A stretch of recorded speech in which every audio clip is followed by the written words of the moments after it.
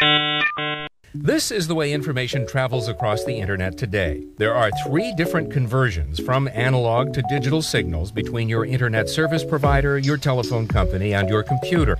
My first internet was taking a black rotary phone, getting my acoustic coupler, having the thing hooked up to my Tandy 1000 desktop computer.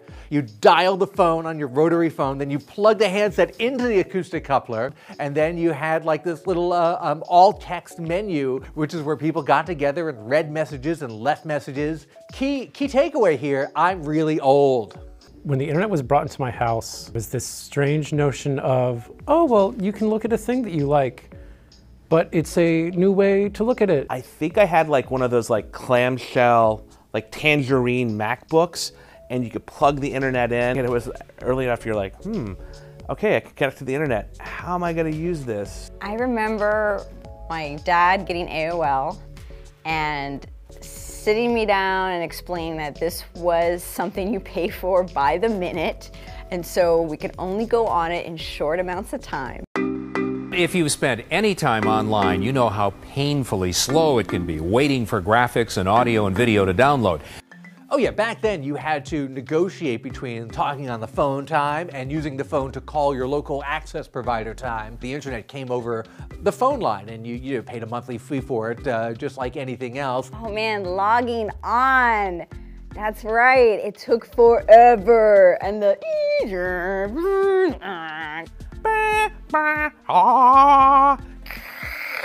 the fact that you were basically the first people online, um, you could tell like, oh, this isn't very fast. And I would just be sitting there like looking at like a blank white screen and that was when I first started. I was like, oh, like why is it taking so long? There was gated times of like, hey, this is internet time, but like also we need to call your grandparents, so what? get off the internet. Um, and that lasted for a really long time. God help you if your mom picked up the phone because then it's all over and you gotta start again. Because we had one phone line in the beginning and mom would pick up and hear the and you're like, Mom, no, I'm kicked off. I was in the middle of an AOL chat room game. Think of the information highway as a real highway for a moment. Audio, video, and other information is broken up into little packets like cars and then sent along different lanes and highways to be assembled at the other end. Oh, the internet for us, especially the beginning of the web browsing era of the internet, was so amazing. So one of the first things I ever did on the internet was look up Sailor Moon. Um, I would just look up Sailor Moon pictures and images and then I would print them whole, like print the web pages. Then I would put them like in binders and then in a three-hole punch binder or like in sleeves and I would just like look and flip through them. And that was pretty much all I did. Big part of my early internet days was like sound bites from movies. And we would just like download them. You download a 15 second audio clip and you finally get it and it would just be like Chris Farley singing like fat guy in a little coat and that's it. And you and you'd be like, Thank you, hum humanity. We've done it. we got this. I looked up the status of my friends online. We could, it sounds so dirty. You could finger people. Whoa. I know. That sounds crazy. so you would just type in finger and then their login name and it would tell you whether they were online. Could they deny your fingering? No. you, if they were there, you knew they were there and you were like, haha, I fingered you.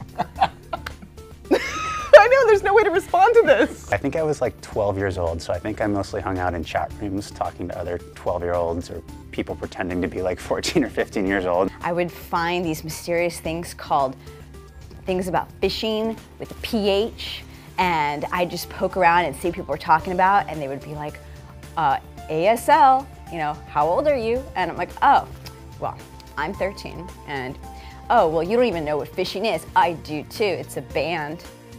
I totally know what it is. The bigger the file you want, the more cars or packets you force onto that road. And everything ends up traveling on what's known as the Internet's backbone, the super high speed network that connects all the other networks. I remember somebody, we were sitting in like a in a class, and I remember the couple kids in front of me, and they were laughing and giggling, and I remember them just typing in naked people. And I don't know what came up. I mean, the internet was so slow back then, probably they didn't see anything. So we definitely had moments where like there would be like a stray AIM message like in the background that I forgot to close, and it was like, oh, why are your friends cursing? What is yeah. that? Oh man. What- the, uh, the this is who you're hanging out Of with? Like- leaving a window open on accident. Yeah, no good. When I just recently went to visit my parents, I found old AOL CDs. They kept them. They, kept their AOL CDs. It's crazy. I mean, this is one of the older ones. It's AOL 9.0 optimized, and um, I, bless my parents' hearts that they that they thought that they may need this, and and they kept it.